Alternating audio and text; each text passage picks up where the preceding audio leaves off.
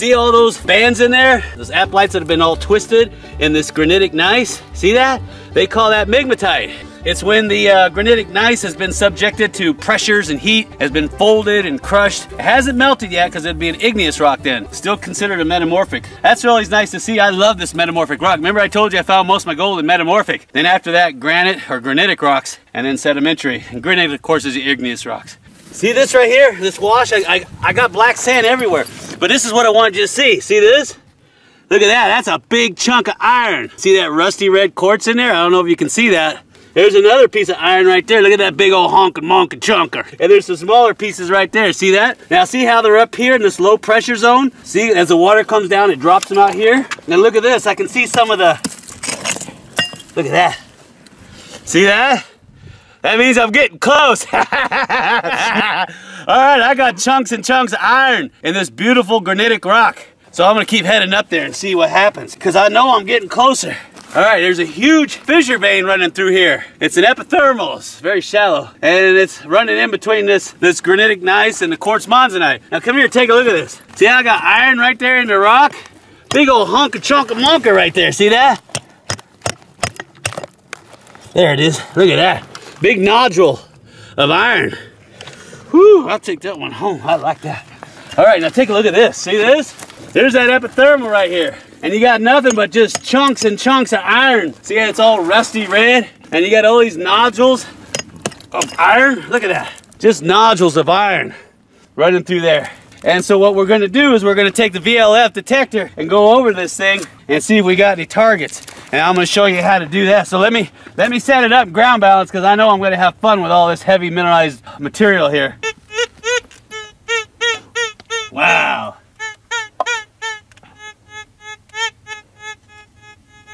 That's hard to balance, ground balance on. All right, let's see what we got here. Got some iron.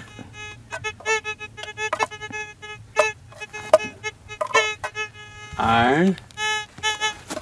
Iron. Ooh, that sounds good.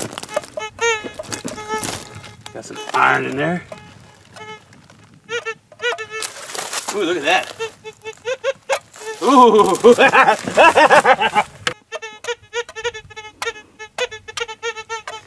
The vein dips down into here, and then it peters out over here, then it comes in over here.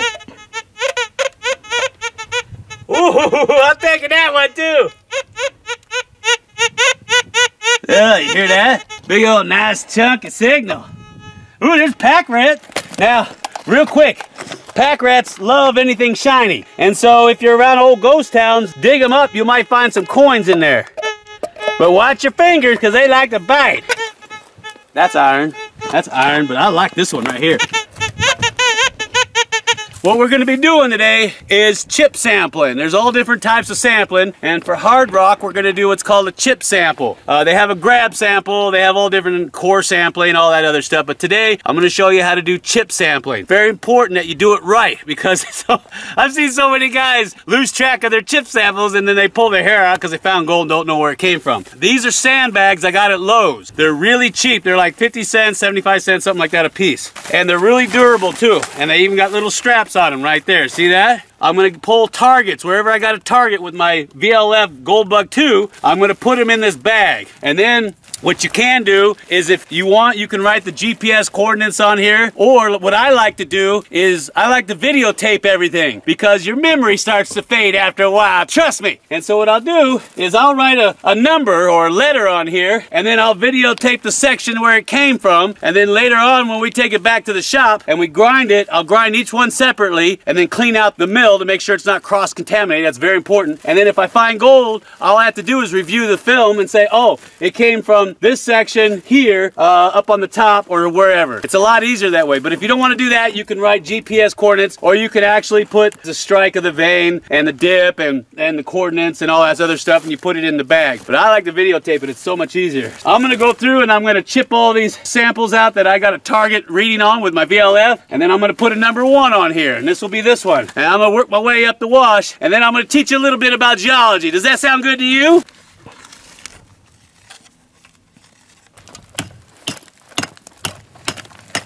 Yeah, I know, I should have brought eye protection. Always wear eye protection. Wow, look at that. I got him! Make sure you got gloves on. You never know what's gonna be in there.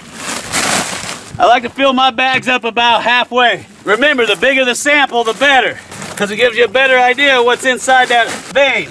But you don't want it so heavy you can't carry it. Oh, that's just loaded. Look at that.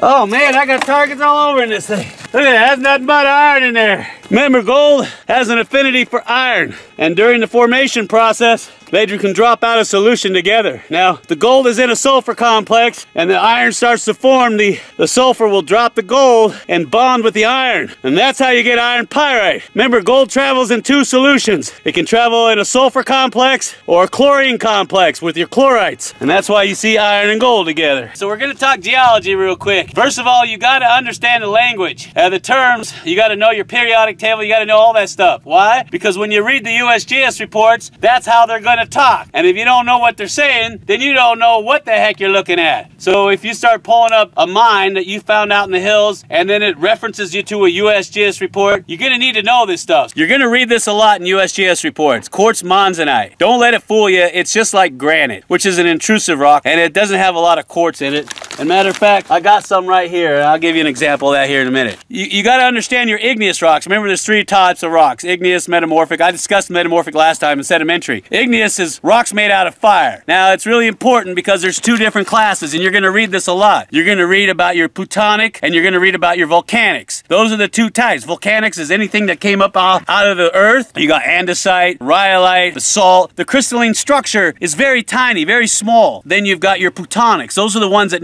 made it to the surface. They have large grain crystals in it. And if they're really big, they're called pegmatite, porphyry. Your plutonic rocks are going to be like your gabbro, diorite, granite. You can have mixtures of rocks. Granite diorite, granitic gneiss, you can have all different mixtures. It's like making a cake. You can put all kinds of stuff in it. Now, when you're dealing with either volcanic or plutonic rocks, there's a scale that you use for that. Anything that's got lots of iron in it, and you can tell because it's really black like your basalts, are going to be what's called mafic rocks. The rocks in between, which are like your andesites, are going to be intermediate rocks. And then the ones that are like your rhyolites are going to be what's called felsic, which is feldspar and silica. Why is this important? You're going to read a lot of times where you see granitic gneiss that was cut by a, a diabase dike. Because wherever you have dikes that run through like diabase and basalt, and they come in contact with other rocks like slate and shales, where they come in contact, there's a thing called contact metamorphism. Change the structure and alter it. And then gold can actually be precipitated out of that. Now there's certain rocks that are known to be associated with gold. A lot of people don't talk about this, but I'm going to talk about it. All right, one of them is schist. I love schist. Schist is a metamorphic rock. You should know that. I talked about it last time. You can get a lot of things from schist. Garnets from schist, pyrite from schist. You can get gold deposits in schist. And of course, the, the most important one is green schist. Remember that. Now, you also got serpentine, especially when it's in contact with your black slate, like in California. In the contact zones there, you can have quartz and, and calcite that have gold in them. Uh, another one is chert, especially when you have uh, skarn deposits. And of course, greenstone, like you have up in Canada, the Archean greenstone belt. Remember, when you're discussing gold, hard rock gold, you have to have a source, a conduit, and a trap. It's really important to learn the language, okay?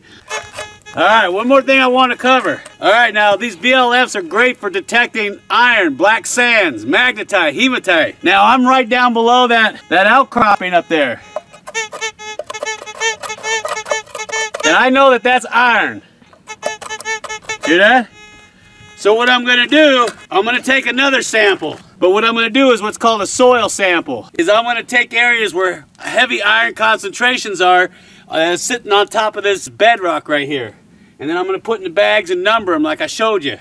And then I'll go back and then I'll hand pan them and see if I got any gold, some fine gold from it that's coming off that lode. Remember not to put too much in your bag about halfway because they get really heavy. Now if you have a White's GMT, that one has a specific mode on it called Follow the Black Sands, which is fantastic and I should have brought it, but I didn't. And it'll actually show you the heaviest concentrations of black sand. And what you're gonna do is you're gonna dig it up, especially if it's like you see here, I'm up on this bench of this bedrock. And I'm gonna scoop it all up, take it back, and then pan it out and see if there's anything here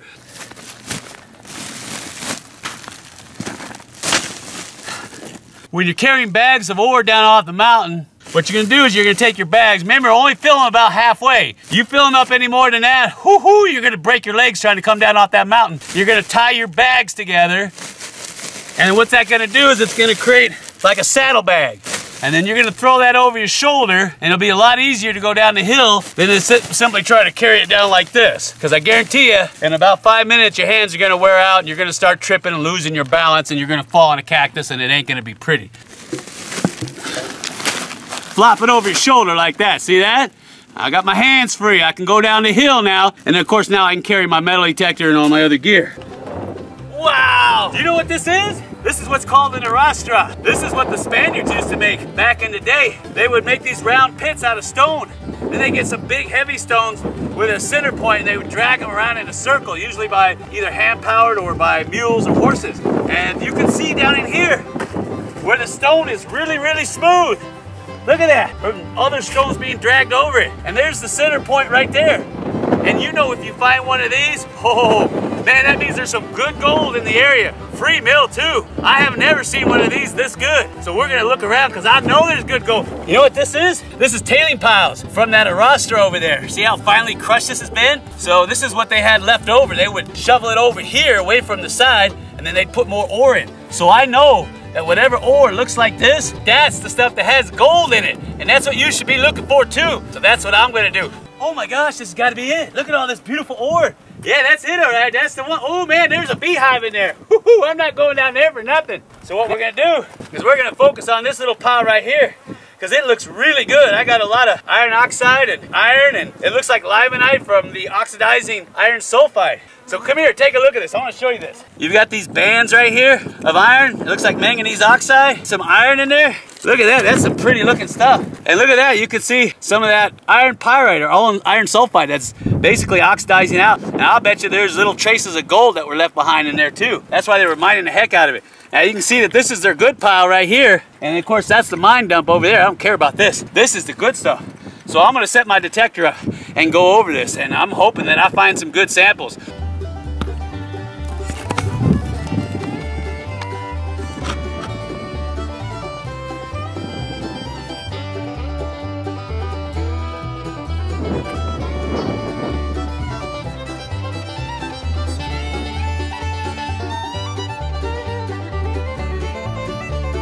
Uh, when you're running samples through these impact mills. Now, you gotta make sure that your impact mill is clean first, okay? You don't want a piece of gold in there from the last grind to show up on this grind and you think you got gold when you don't.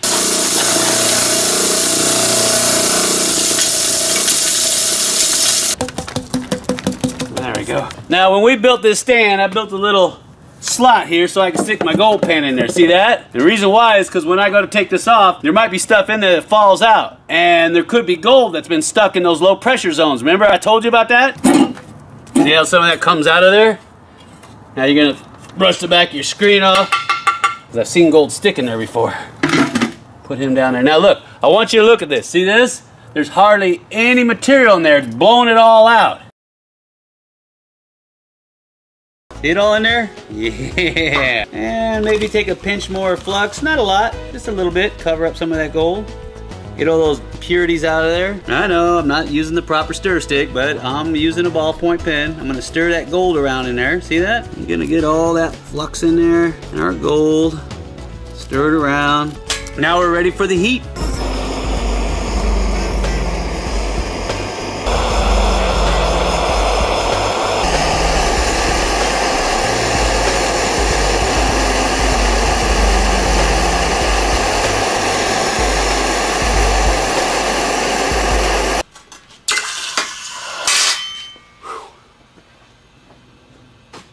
Right here, zero it out, plop that thing down there. Wow, 11.6 grams. Holy cow, that's better than I thought we did.